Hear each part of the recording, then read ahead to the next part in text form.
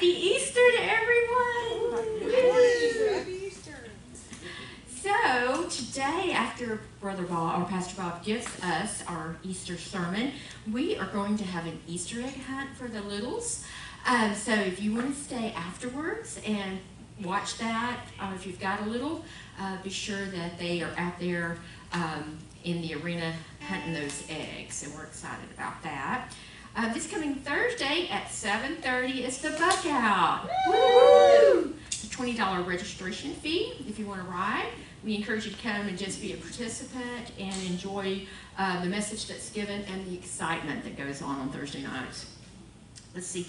Next Saturday is a Jubilee. Woohoo! So there's going to be lots of fun out at Ben Gill Park. I think it's still called Ben Gill Park.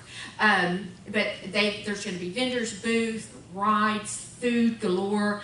And our church has a booth there. So um, if you're out, uh, if you're not going to participate and be at the booth and you're out there with your family just enjoying, stop by and say hi to those that are going to be serving in the booth.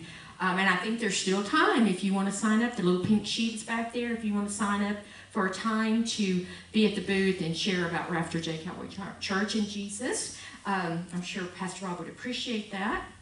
See, uh, the next men's ministry is uh, May 13th. Um, it's at 6.30. It's a meal and message, and they have a wonderful time um, on those Friday nights. So um, please come and bring somebody, and uh, your son, grandson, neighbor, co-worker, whoever. Um, just bring them out. Then Sunday, May 15th is the next elder meeting and um, it opens up to any of us members at 6 p.m. You can come and uh, talk um, to the elders and bring anything to them. And then that meeting closes at 7 p.m. and they do a business meeting. Then fifth Sunday, uh, our next fifth Sunday is Sunday, May 29th. It's right after we have worship, um, a fifth Sunday worship, and then we, after the service, we have a meal. We have lunch, potluck. And so we're asking you to bring a dish. Um, the church will provide the meat and the tea, and then if you guys will bring desserts, breads, whatever your specialty is, and just share it so that we all um, can be here and have lunch and fellowship together. Um, and that's all I have on the announcements. So I actually have two pondering moments to share with y'all today. So um, I was thinking as I was in Walmart, I kept thinking of Easter and all the things they have up, out representing Easter. You know, uh, you don't see a lot of crosses, you don't see a lot of talk about Jesus. We're seeing more and more, but mostly you see baby chicks and bunny rabbits. So I kind of was pondering on that, and I learned something about rabbits, which I don't think I paid enough attention in um, in school about it. But did you know a male rabbit was called a buck? I didn't know that. A female is called a doe, and the baby or the youth is called a bunny. So, and they're also considered a hare, H-A-R-E. I got to pondering about that and just wondering, wondering, thinking about all the things that rabbits do and how unpredictable they are. So, I have a question for you. What do you call a line of rabbits that are hopping backwards? I got the answer for you. It's a receding hairline. and here's my other pondering moment. So I'm going down 148, and I'm, you know, kind of sometimes don't pay attention. I'm just in my own little world. And I see a little chick on the side of 148. Little chick.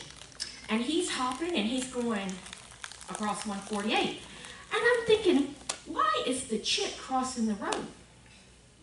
And it dawned on me, he needed to be with his peeps.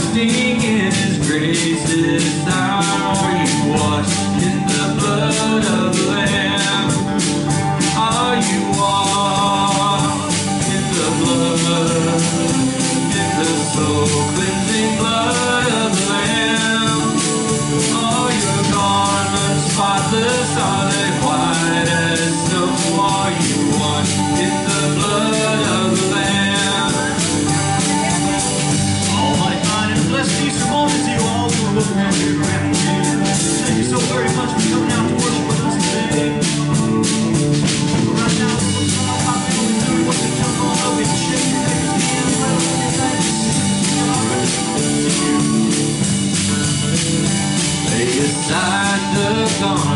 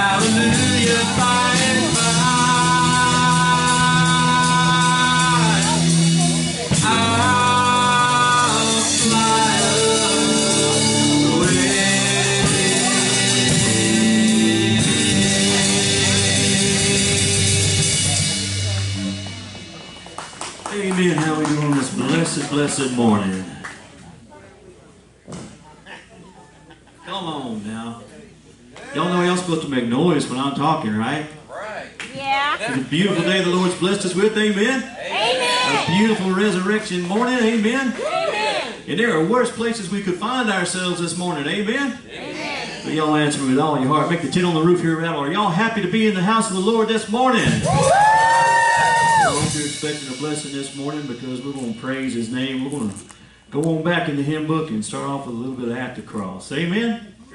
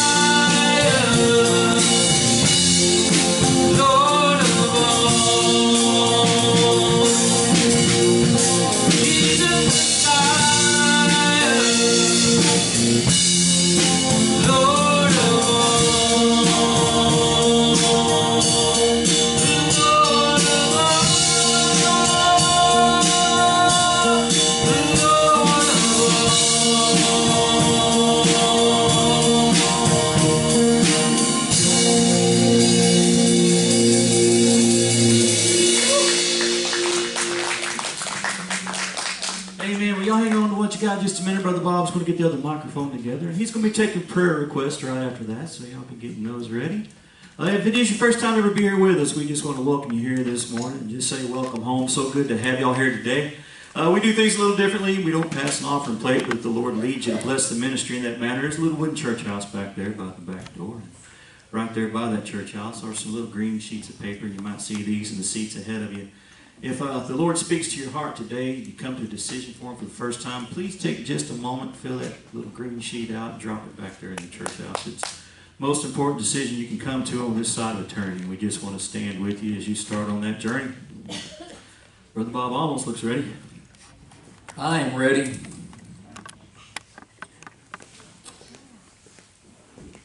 Any prayer requests, guys? On this fine Easter morning? Yeah, Unspoken. unspoken. Gotcha. Yes, sir? Continue praying for the people over in Ukraine, uh, pray for this nation, pray for a revival. Yep. Yes, sir. Anybody else? Yep. Just keep continuing praying for my dad Okay. and, uh, and my Aunt Wanda that's got, we think it's dementia and she's getting worse. I just wanted to keep her on the prayer. Okay. Anybody else? Nobody else. My cousin lost her husband last week. His birthday was yesterday, he would turn fifty from massive heart attack, just keep her in prayer. Okay. Sir? uh, make her changes. We hope the final cut it down, so. Oh, okay. Good deal. Anybody else? All right, there's nobody else, let's go before the Lord in prayer. Father God, we love you so, so very much. Father, this day we just reflect on you. Father God, you heard the prayer request, Lord, just Father, I believe that you're so awesome, and Father God, in your omnipotence, Father God, and just uh, that you knew what our prayers were going to be before we even uttered them. Lord, you knew what they were going to be before we even knew we needed them. Father, and I believe that you put into motion the things that would need to happen in order to answer those prayers ahead of time. Father, we thank you for that. We say thank you for your sovereignty. Just to, Father, just to, just, we don't know where else to turn but you. You're the only person that can answer our prayers. You know, Buddha can't do it, and Muhammad can't do it, but Lord Jesus, you can.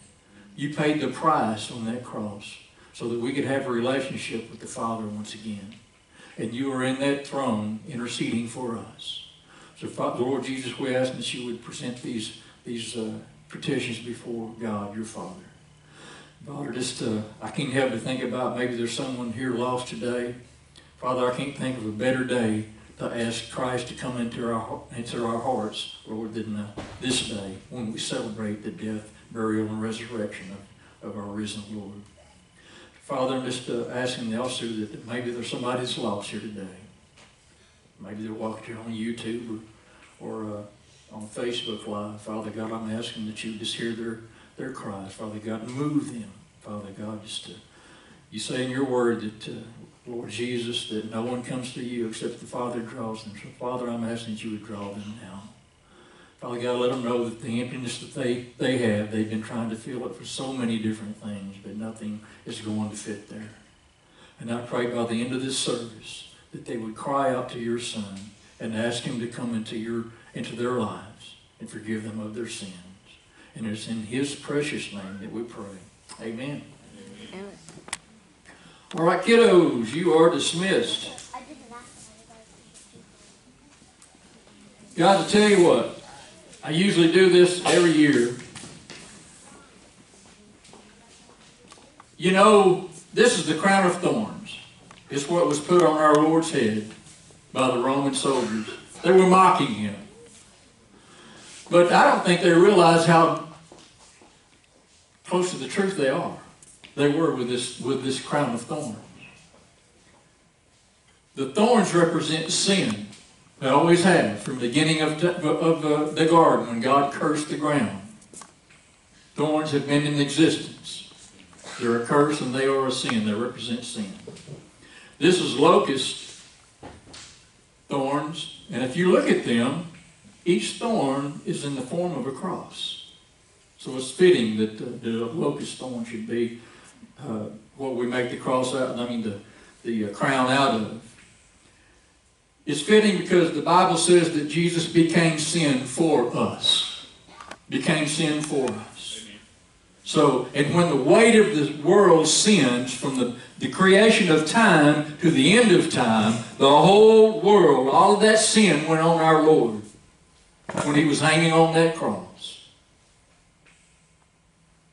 This represents that sin. Amen. I'm going to pass this thing around. And uh, be careful with it, please. But if you get pricked, just think about how that would feel on your head. And then somebody just cramming it down on your head. Careful, careful. And just pass it around. I want everybody to get a good look at that thing. You know, usually on uh, I've done a many many sermon where I go through the prophecies and uh, about the cross and leading up to that moment. Psalm, if you to look at some of them, Psalm 22 is a real good one. It speaks about our Lord being hung on that cross. He looks down and he can see his bones depending to that tree.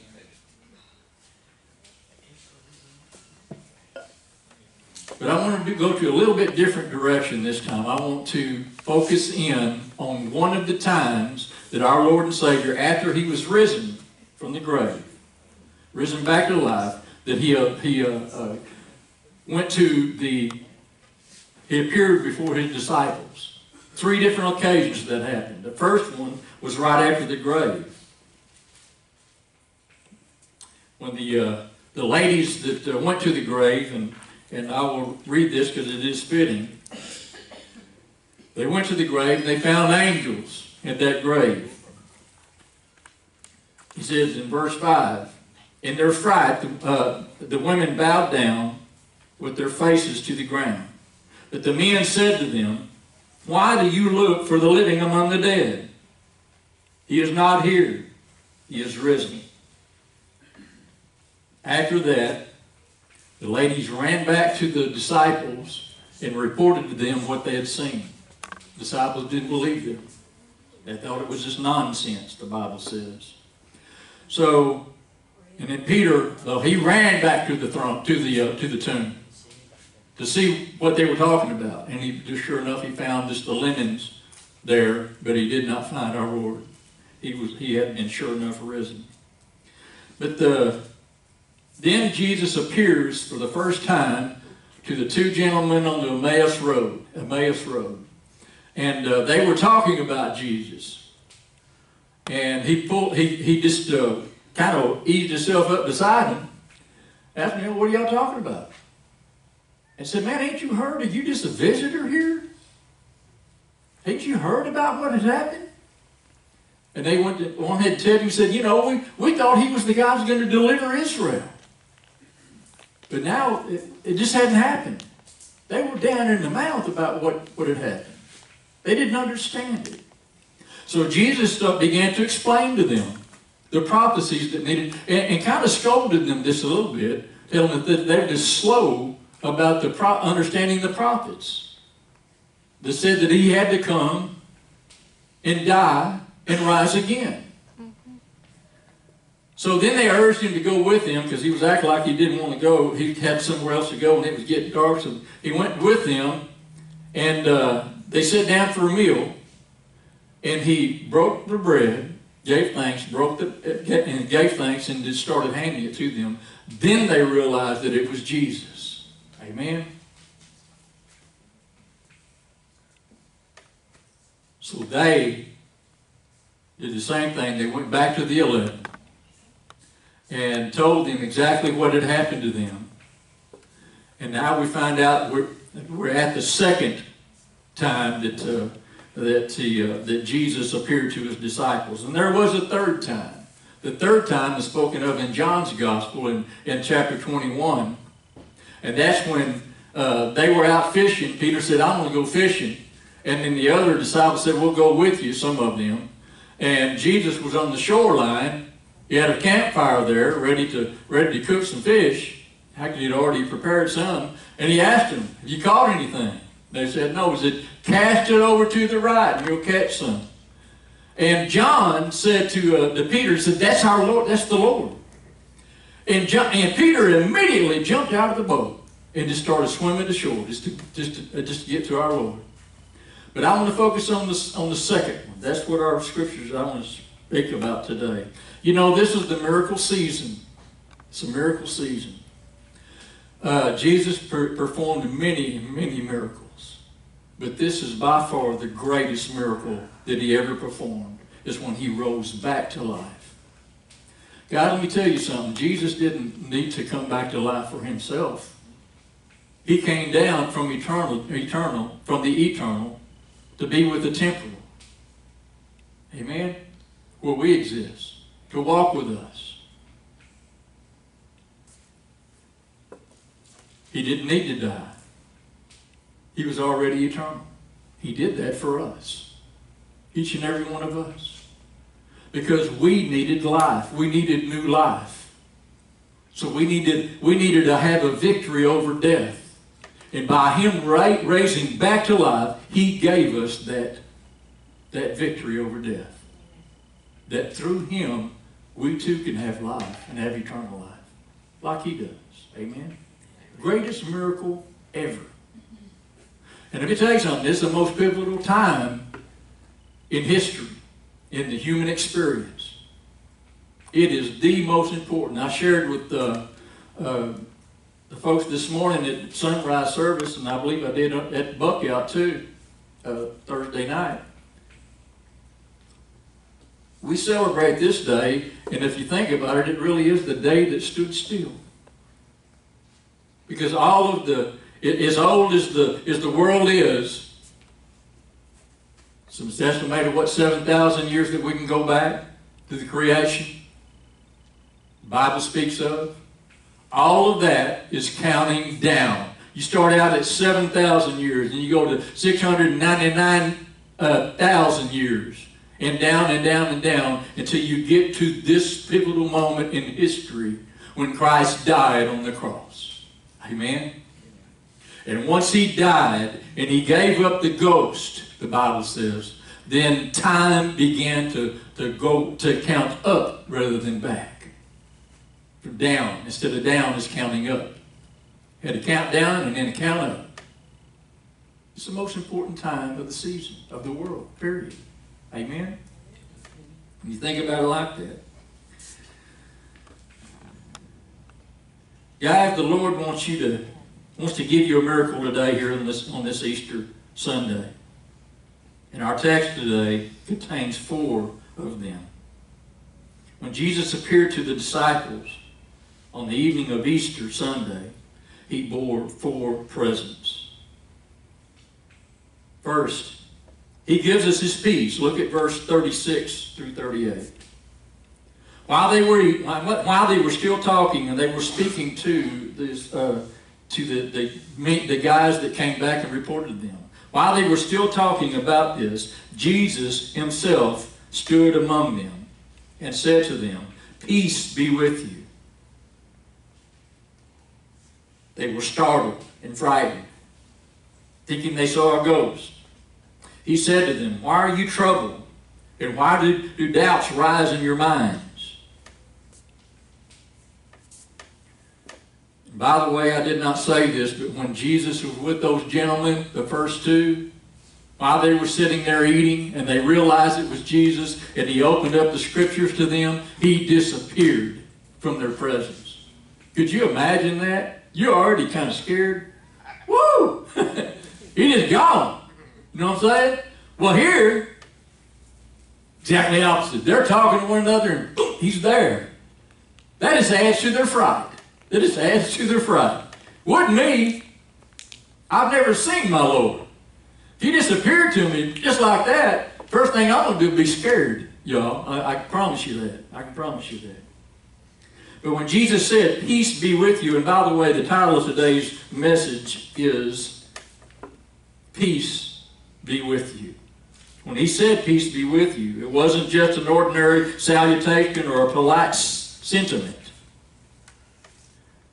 The disciples were terrified. Jesus just appeared to them. They were in a moment of confusion and fear. There's rumors and reports were rampant about what had happened. And lives were in jeopardy. jeopardy. Seeing the form of Jesus suddenly appear, they were terrified. Our Lord's first words were of peace. It's kind of interesting going back to, just for a moment, to Luke chapter 2. After our Lord was born, when he first came into this world. Chapter 2, verse 13, uh, there was, a, it says, Suddenly a great company of, of heavenly hosts appeared with the angel, praising God, saying, Glory to, to God in the highest, and on earth peace and goodwill to men. Our Lord came to this world with peace, and he left this world with peace. Amen. So he gives us his peace. And it's the peace that surpasses all understanding. It's the peace that Jesus gives us, not the absence of trouble, but the freedom to deal with those problems without the stress and strain that come with worry and uncertainty. Notice his next words. Why are you troubled? Why are you doubt? Why do you doubt? Why do doubts rise up in your heart?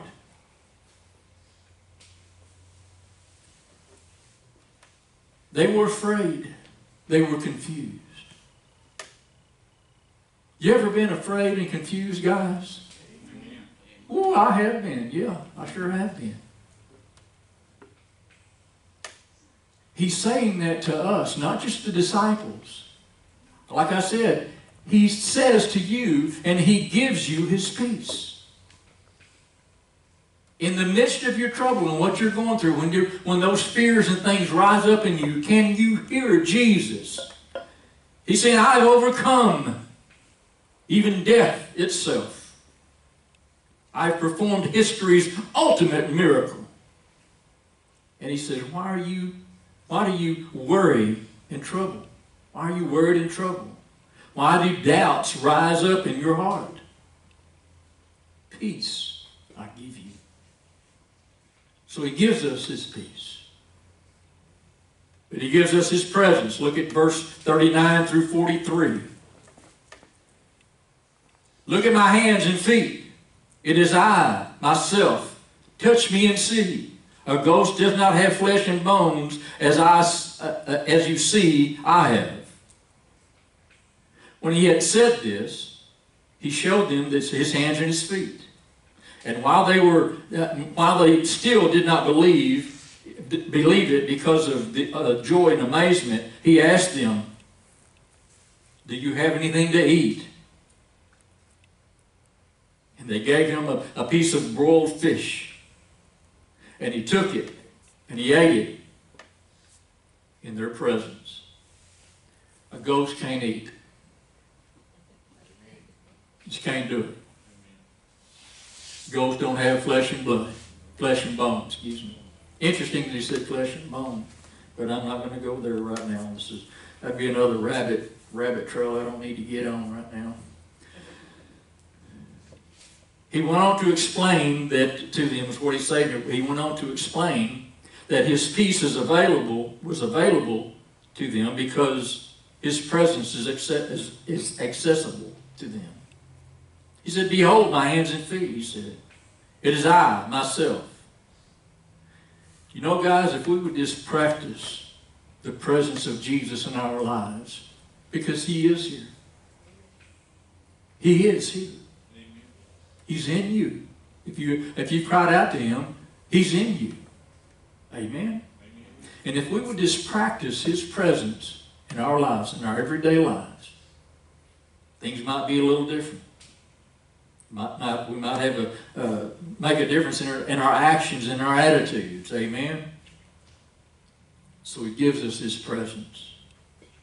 But he he gives us his promises as well. Look at 44 44 and 45. He said to them, This is what I told you uh, while I was still with you. Everything must be fulfilled that is written about me in the law of, Moses, law of Moses, the prophets, and the Psalms. Then he opened their minds so they, they could understand the scriptures. Jesus went on to explain that by his death and resurrection, he was fulfilling the prophecies and the promises made, by, uh, made about him. In so doing, he ratified all the promises of God in the Bible that sustain us in every, our daily lives, every, daily, everyday lives. There was one man that counted over 7,000 promises made, of, made by God to you and me in the Scriptures. And we need to learn to use those Scriptures, those promises. R.A. Torrey, he said about a, a Christian leader, George Mueller, when it was laid upon him, George Mueller, that, Mueller that is, when it was laid upon his heart to pray for anything, he would search the scriptures to find uh, to find uh, to find if there was a uh, some kind of a promise in God's God's word before he would pray. Sometimes he would search for days to find the scripture that fit the situation. And then with his Bible open and his finger on the promise, he would bring that petition before the, before the Lord and pray for that person's needs. I think we need to search God's scripture when we go through these things, guys, because he makes those promises available for us. He gives us his promise, promises. And there is a promise for every situation. Over 7,000 of them. With a little effort, we can find them.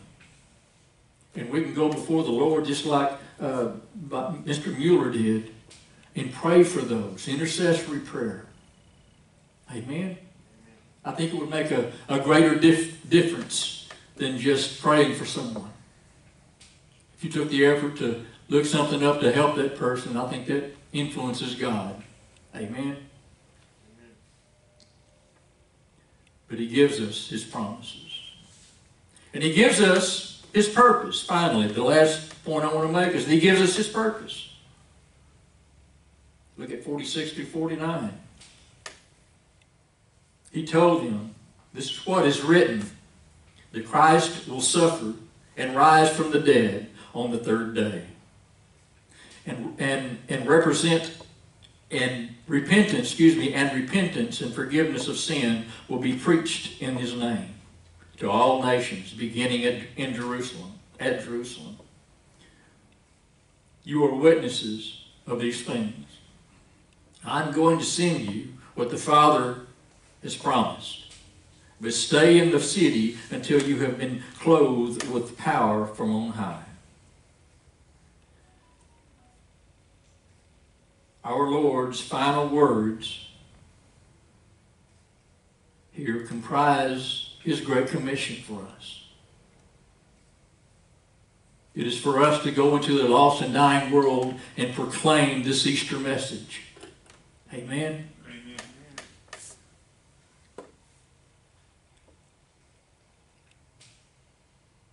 He said that I'm going, verse 49 said, I'm, I'm going to send you what, what my Father has promised. And he told him to say it, stay in the city. What the Father promised was the Holy Spirit. Amen? Amen. That's where that power came from. Power from on high. When Jesus was with his disciples, he told them that I must go away, I must leave, so that I and I will send back a helper.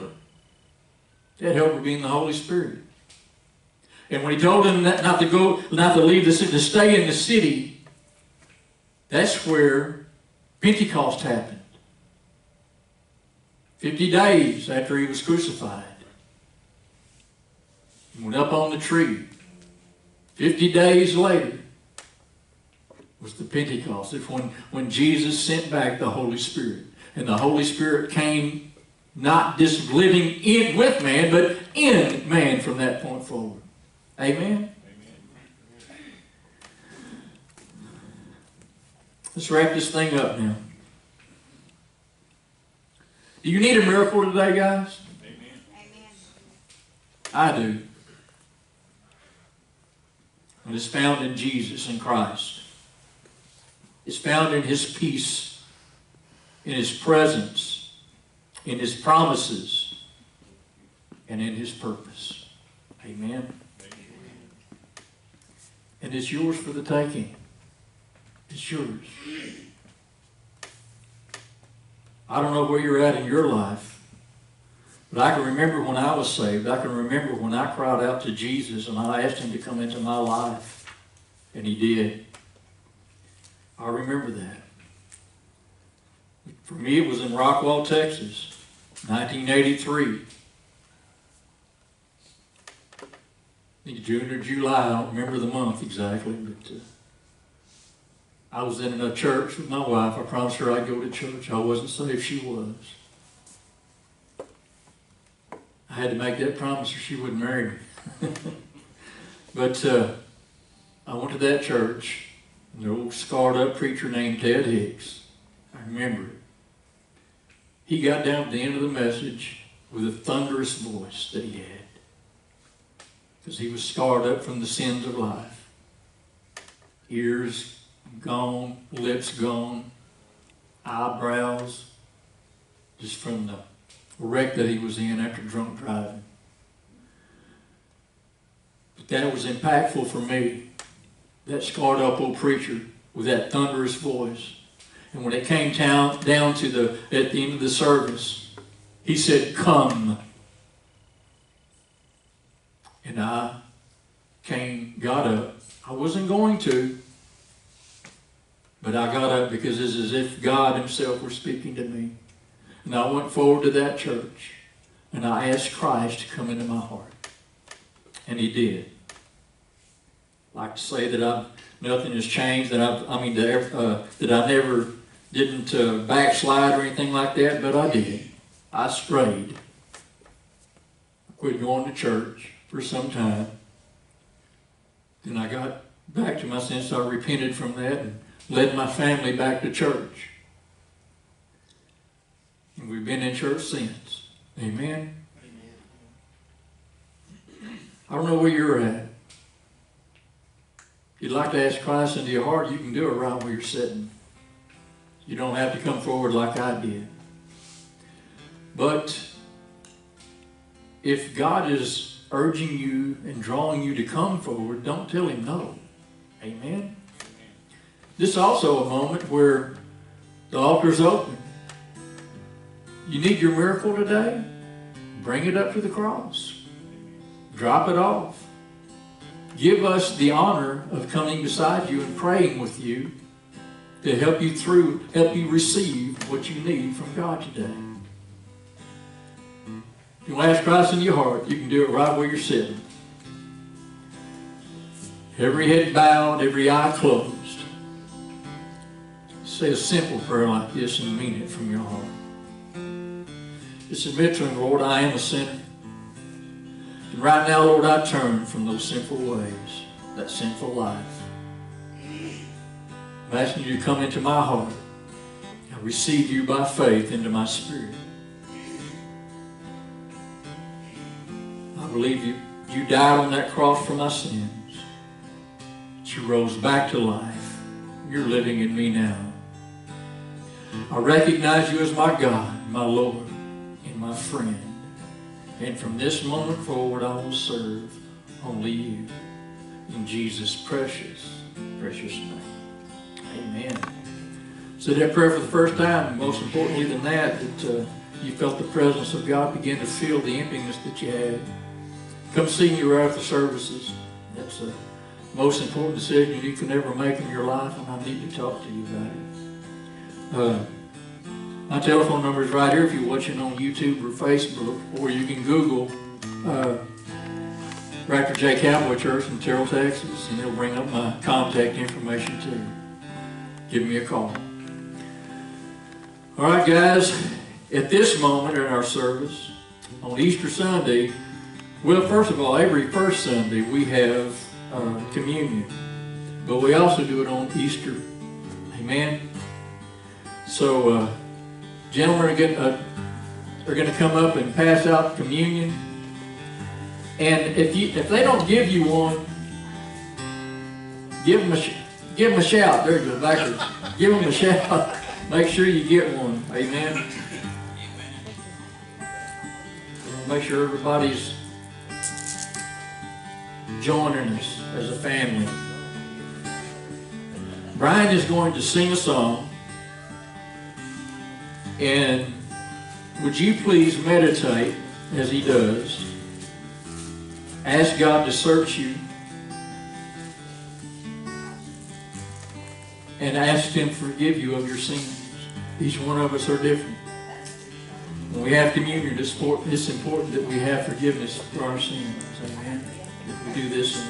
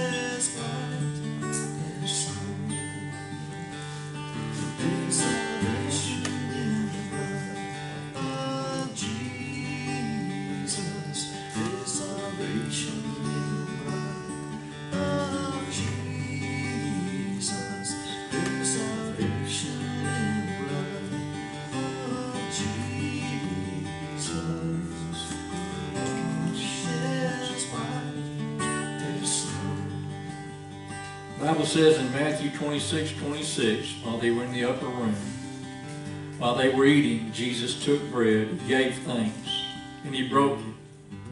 And he gave it to his disciples, saying, Take and eat. This is my body.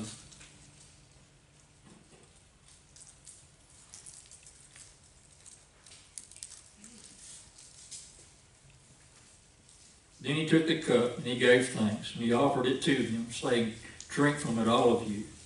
This is my blood of the covenant, which is poured out for many for the forgiveness of sin.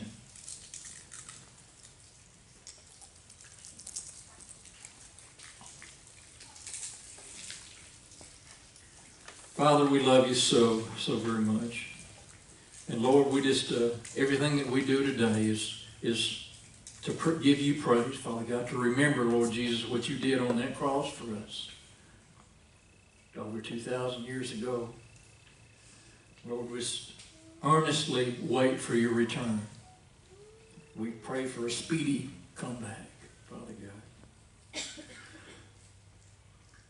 So, Lord, just to take this as, a, as an act of sacrifice on our part. And may what we do bring you glory and honor. In Jesus' precious name. Guys, I'll tell you what, I want to leave you with this one thing. I forgot to mention it in the message I, I meant to. Uh, I agree with Michael Youssef. I heard him this, uh, this, this week. And what he said is that, you know, Buddha, his, Buddha's tomb is occupied right now. Confucius, his grave is occupied right now. Muhammad is still in the grave. It's occupied. Christianity is the only religion where our God is risen. His grave is not occupied because he's not in it. So I, I only had a borrowed tomb. Amen. Let's go before the Lord and we'll just uh, get on out of here and start. We're going to have this Easter egg hunt just a minute. Father God, we love you so, so very much. Father, we thank you for this day. Lord Jesus, we thank you for what you did on that cross for us so that we could have a relationship with our Father once again, so we would not be estranged any longer. So, Father, just uh, take the things that we're learning, apply them to our lives, show us how to apply them to our lives so that we can be doers of your word, not hearers only. Father, show us how we can take these things to a lost and dying world so that we can be a light on, a shining light on the hill. Just bringing your light to a, to a lost and dying world through the darkness of this world. And so that we can be your ambassadors. We may be the only Christ someone sees, the only Bible someone reads. So Father, just show us how to, uh, to, to be that light for the world. We just, uh, until we get back up here this Thursday night for Buckout, or next Sunday, we ask for your perfect speed and we ask for your favor in our lives. We ask this in Jesus' precious, precious name. Amen. All right, guys, we love you. See you next week.